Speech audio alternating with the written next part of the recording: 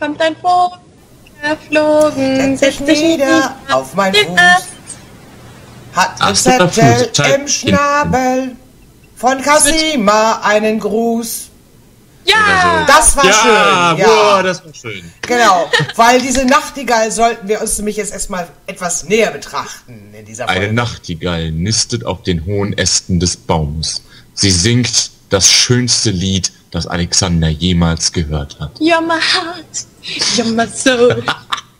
Haha, du vergraulst unsere Zuschauer. Ja. ja, Alexander kann den Vogel nicht erreichen und sie sieht nicht so aus, als wäre sie sonderlich interessiert, zu einem Fremden zu kommen. Genau. Da müssen wir Ja. tricksen, ihr Lieben. Richtig tricksen. Guck mal, was wir hier haben. Die Gucci. mechanische, mechanische, mechanische, Verdammt, die mechanische Nachtigall ist aus äh, Zinn. Ist ja egal, wo draus. Auf jeden Fall haben wir die.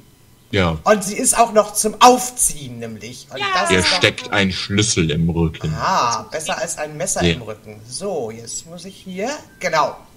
Ja. Alexander zieht den, die mechanische Nachtigall auf und setzt sie auf den Boden. So ist das. Und dann spielt es ein kleines Liedchen. La, la, la, la, la, Pomelo. Ja, die mechanische Nachtigall singt ein süßes, äh, zinniges Liedchen. Die echte Nachtigall auf dem Baum äh, wackelt mit ihrem Kopf und äh, hört zu. Und kommt angeflogen. Du darfst wieder, Willi. Die Nachtigall fliegt auf einen tieferen Ast und guckt Alexander neugierig an, als ob sie sich entscheiden würde, ob dieser Mensch doch nicht so schlecht wäre. Genau, so ist das. Ja, und dann packen wir die Nachtigall wieder ein. Haben wir eigentlich unseren Ring schon wieder? Ja. Wir haben einen Ring und wir haben auch dieses Gedicht. Ist das da drüber eine Hasenpfote? Ja, und wenn wir dem Vogel die Hasenpfote zeigen, dann kriegt er bestimmt ein Herz. Ja, mit Sicherheit, deshalb tun wir das nicht. Nein, wir geben ihm den Ring. Und hallo, uh, da. Kleine Vögel mögen Dinge, die blitzern. Genau. Alexander hält den Insigniering. Insigni Verdammt, jetzt geht das schon wieder los. Alexander hält seinen Ring äh, dem Nachti der Nachtigall entgegen, hoffend, dass sie vielleicht vielleicht die Nachtigall wäre, von der Jollo gesprochen hat, und dass sie in der Lage wäre, den Ring zu nehmen und zu Cassima zu bringen. Genau. Der Ring ist das eine Ding, ich bin ein Pött, das Cassima auf Alexander, auf Alexanders Anwesenheit auf den Inseln aufmerksam machen könnte.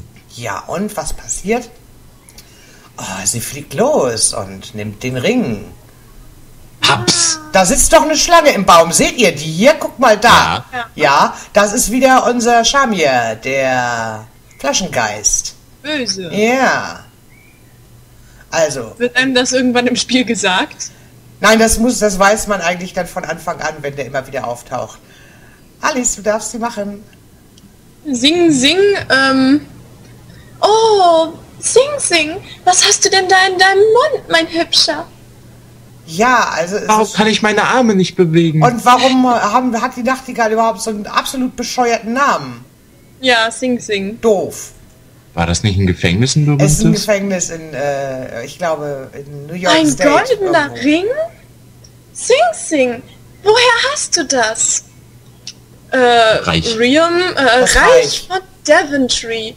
Aber das ist doch Alexanders Ring. Oh mein Gott, er muss hier sein. Ja!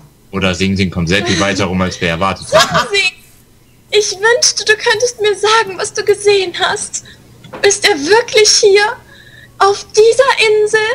Oh, wenn...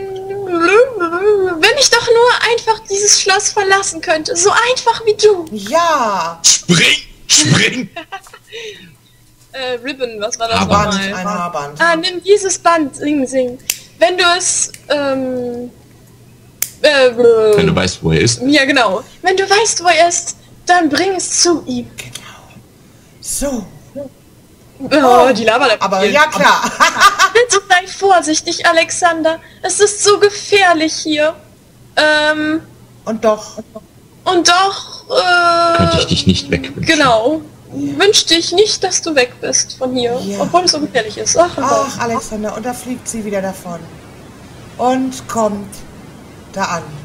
Und schmeißt das Band zu seinen Schlacht. Füßen. Der kleine Vogel hat eine Lieferung gemacht. Genau, und das nehmen wir uns natürlich sofort. Hurra! Es ist eine rote samtene Haarband. Eine samtene Haarband. Sehr schön.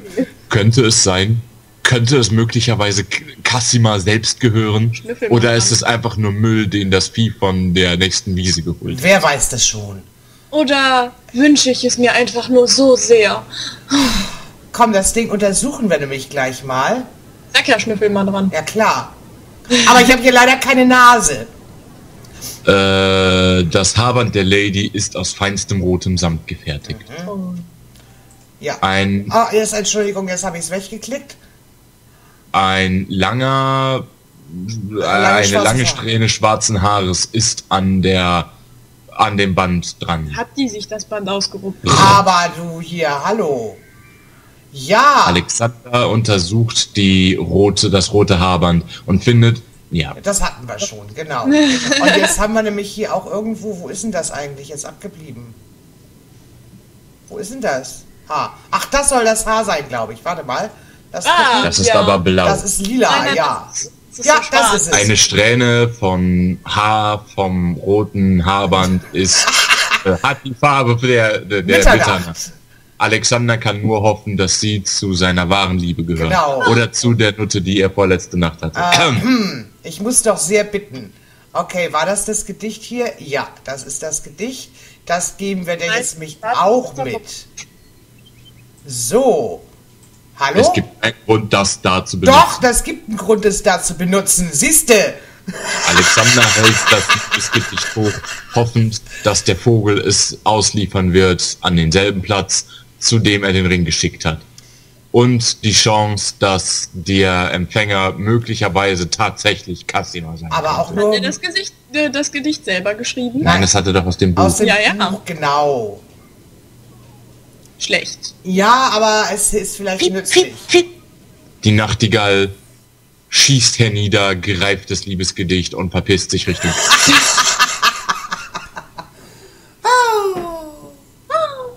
Hätten die nicht einfach Telefonnummern austauschen können? Mein Gab's Süßer, aber es noch nicht. Du bringst mir ein weiteres Geschenk. Lass mich sehen. Oh, es ist ein Gedicht, Sing Sing. Das haben wir schon gelesen, das brauchst du Ja. nicht nochmal hier ans, und, und, und, und uns und unseren Zuschauern anzutun. Genau, mein, mein Herz ist so fest an dich gebunden. Ja. Oh, Alexander! Ah, Ja, sie ist ganz hin und weg. und wie? Ach, ich habe so gehofft, dass du wiederkommen wirst. Nimm das, solange er wartet. Beeil dich, mein... Geflüchteter? Ja, Ein Geflügelter. Mein. Flotttier. Ja. Die hat komische Arme. Ja. Ja, doch ein komisches Und Gesicht. er kommt wieder. Und was kriegen wir denn da? Und er macht Der wieder eine Lieferung. Vogel hat eine Lieferung gebracht. Heben wir auf. Es, Es ist eine Nachricht. Liebster Alexander, ich kann nicht glauben, dass du hier bist, mein Freund. Bitte, bitte sei vorsichtig. Abdul Abdul ist nicht... Äh, Hat nicht vor- seine jemanden in seine Pläne einzuweihen, nee, eingreifen zu lassen. eingreifen zu lassen. Äh, pass auf, äh, auf, gib Acht auf Abduls Genie, Alexander, und mach nichts. Blödes. ja, macht Ja. keine Dummheiten. Ja. Ja. Oh, das geht ja noch weiter. Und ich echo Ja. schon wieder. Oh nein, Ja. ja. Äh, ich kann nichts dafür. ähm, aber Resources, wie übersetzt man das? Quellen. Quellen. Äh, nee, nicht Äh, ohne ich- Mittel in diesem Fall. ja, Ich eben. bin mittellos, oder Nein, bist ich bin nicht mittellos. Und ich werde äh, versuchen, ob ich äh, dich nicht irgendwie ein wenig schützen kann. Ähm, versuch nichts, um mich zu holen. Ja, um Ja. zu mir zu kommen. Ähm, Du darfst nicht meinetwegen in Gefahr geraten. genau. Ja. Also äh, und hoch in der Schulter der Familie, Cassima. Alexander, an Alexanders Hand zittert, als er die Nachricht liest. Das erste Mal in seiner langen Suche hat er ihre Stimme gehört, wenn auch nur geschrieben. Oh Ja. mein Gott. Keine Worte der Liebe, nur freundlicher Zusammenhang. Freund. Ist die Jungfrau nur schüchtern oder, bin, oder sieht sie in ihm nur einen Bruder Oder ein Vollhonk. mit einem grünen Hemd Und einer schwarzen Hose und geringelten Strümpfen an. Grün ist halt nicht ihre Farbe. und lila äh, St- Tuntenstiefeln? Genau. Und nach diesen Worten gehen wir wieder, weil ich glaube, mehr kann ich dem Vogel jetzt nicht geben. Das sind Moon.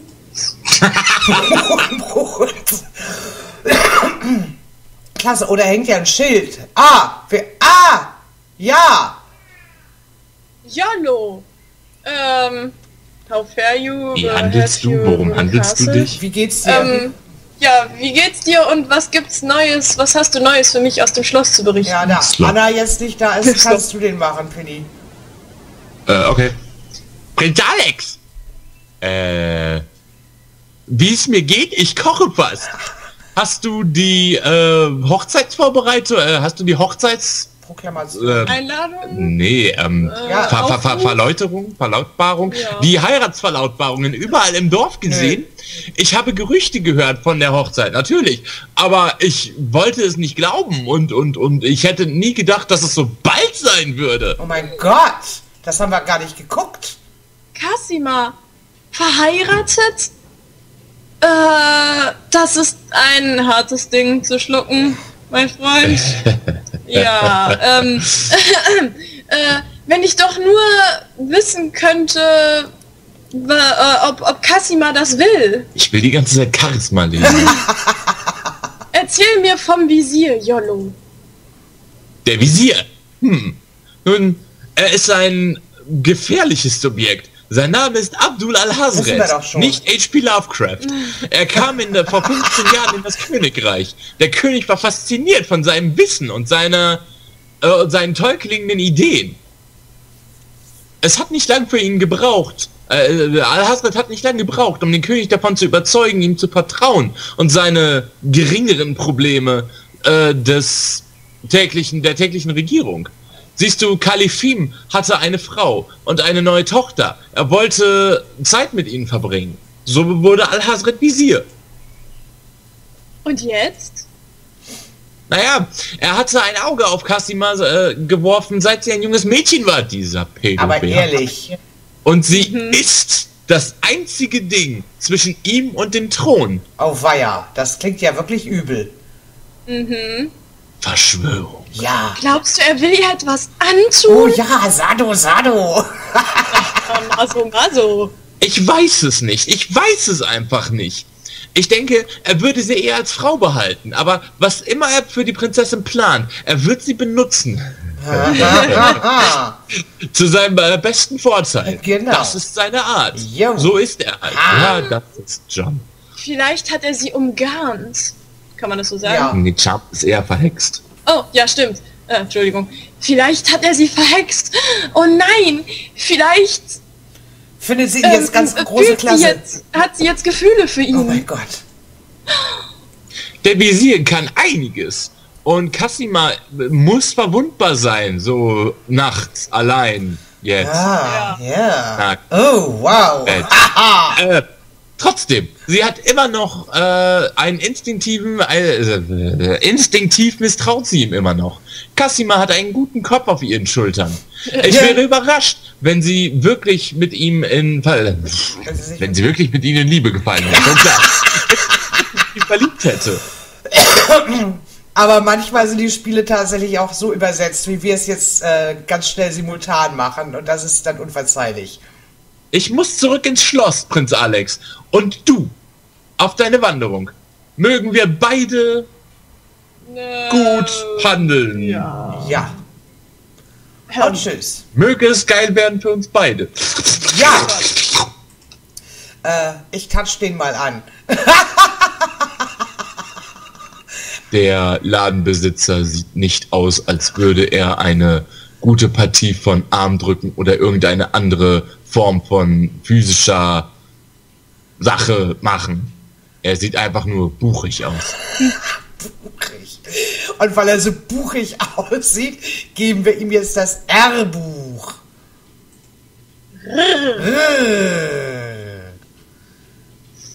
Ich habe dieses seltene Buch gefunden. Und, ich heiße Alexander. Entschuldigung.